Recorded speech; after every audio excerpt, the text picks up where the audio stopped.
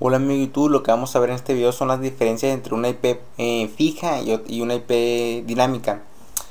Para empezar, primero, en este caso aquí les puse algunas imágenes que tengo aquí. Vamos a tomar como ejemplo esto. Suponemos que aquí eh, tuviéramos lo que es una dirección IP pública dinámica. Aquí tenemos su proveedor eh, de internet, aquí tenemos un switch y aquí tenemos varias computadoras. Obviamente si, ustedes tienen lo que es direcciones IP dinámicas, eh, lo que va a hacer es que el dinámica pues significa que va a estar, que, o sea, no va a ser permanente, o sea, va a estar cambiando constantemente. Por ejemplo, si ustedes tienen aquí varios equipos, como pueden ver aquí, eh, a veces, por ejemplo, aquí cambia el último, por ejemplo, 234.15, aquí 234.158, 234.124, 234.228. En este caso hablando del mismo proveedor, no suponiendo. Puede que, o sea, ustedes si tienen lo que es la... Si tienen contratada una IP dinámica, lo que va a hacer es que puede que un día eh, tengan esta dirección IP, luego mañana tengan otra, luego otra, luego otra, cambie, cambie, cambie. Así, por ejemplo, puede que eh, esta, esta, esta PC tenga la de esta y luego esta la de esta y cambiando así constantemente. Obviamente si ustedes quisieran levantar una página web o algo así, no y no iban a poder, o sea, no, se iba a poder porque es como si si pues, o sea, cambiara iba a cambiar el para poder acceder del internet iba a cambiar ese número, por ejemplo, vamos a acceder aquí lo que es a Facebook con esta dirección IP. Bueno, no es esta, es la 157 .240.19.35 por ejemplo esta es una dirección IP pública. Si le damos enter nos va a abrir lo que es Facebook como pueden ver. Lo ven si imaginan que ustedes Facebook tuviera lo que es una dirección IP dinámica. Obviamente si ese número cambia ya no vamos a poder hacer a Facebook porque ese número cambió o sea no íbamos a saber qué número cambió.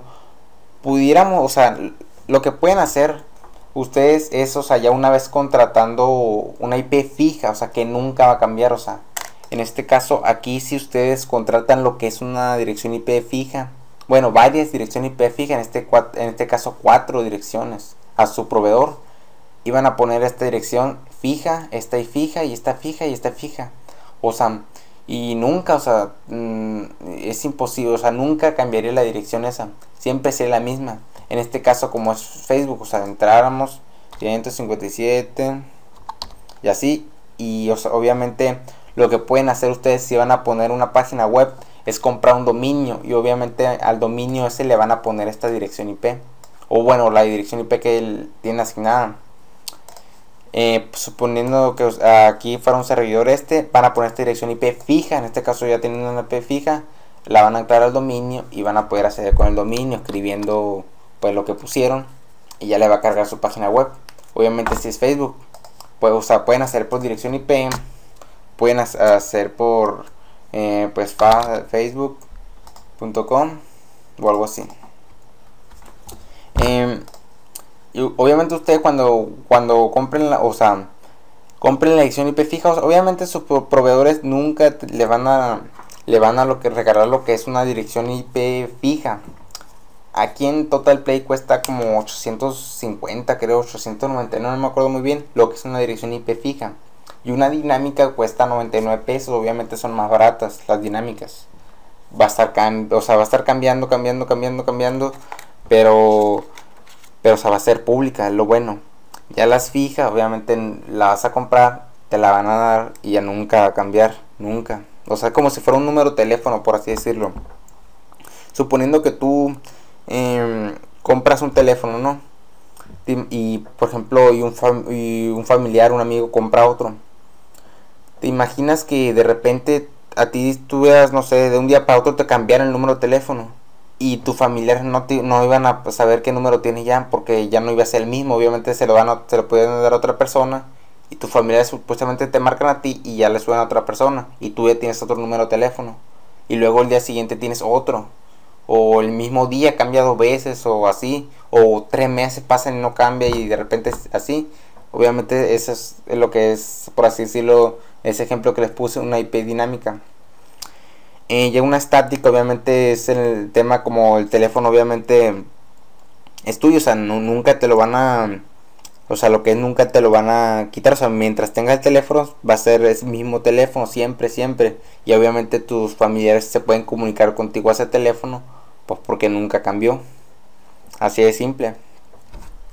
Em, tengo otro video lo que, explicando lo que es una, una IP dinámica y una IP estática.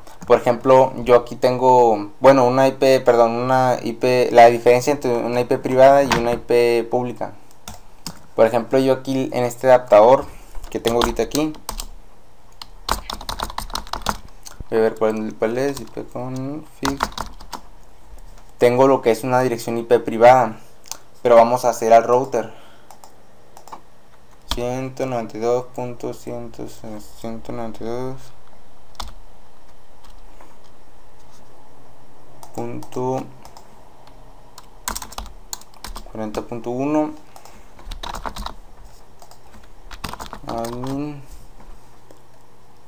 y aquí tenemos lo que es una dirección eh, en este caso es, dinámica no pero o sea es pública. Como lo podemos comprobar por ejemplo vean este número aquí. Entramos al speed test vamos a refrescar la página. Como ven ya cambió aquí. Ya es 37.40 la dinámica, pues obviamente, si cambia este número, o sea, te da lo que te da, o sea, si es dinámica, cambia este número, cambia aquí, vuelve a cambiar y las fijas, ¿no? Obviamente siempre tendrás el mismo, la misma IP. Em, en este adaptador que les voy a mostrar ahorita, a ver, tengo una IP pública. Por ejemplo, directamente el adaptador, vamos a deshabilitar este. Vamos a habilitar este. Vamos a poner otra vez ipconfig y ya como ven una IP pública a mi adaptador a mi computadora. Ahora vamos a refrescar aquí lo que es esto. Y ya cambió. Eh, notense es la misma. 187.188.37.104 y aquí la misma podemos hacer el speed test, lo que sea, y la misma. Podemos entrar a una página web. Bueno, ahora pues bueno, aquí ya se cerró obviamente por el porque ya cambié de adaptador. Y así es básicamente, o sea, también, o sea, lo que, o sea, es como, como, en este caso no solamente con Facebook, obviamente con todo, con todos los servicios de internet, obviamente si cambia la dirección IP ya no íbamos a poder hacer, por eso es la diferencia sus proveedores em, deben, eh, o sea, ya si es un proveedor muy chiquito o algo así, no, no creo que te dé ni siquiera IPs públicas, o sea, ni dinámicas, te daría privadas. Pero si es un proveedor grande, ya como Telmex, como Megacable, como Total Play, obviamente te puede, o sea, te debe de, de lo que es, darte la opción de contratarla, por lo menos contratarla. De, o sea, porque ya si es un proveedor que ni siquiera te puede brindar ese, o sea, un servicio de eso, o sea, ya, ya, pues, o sea, muy mal por parte de ellos.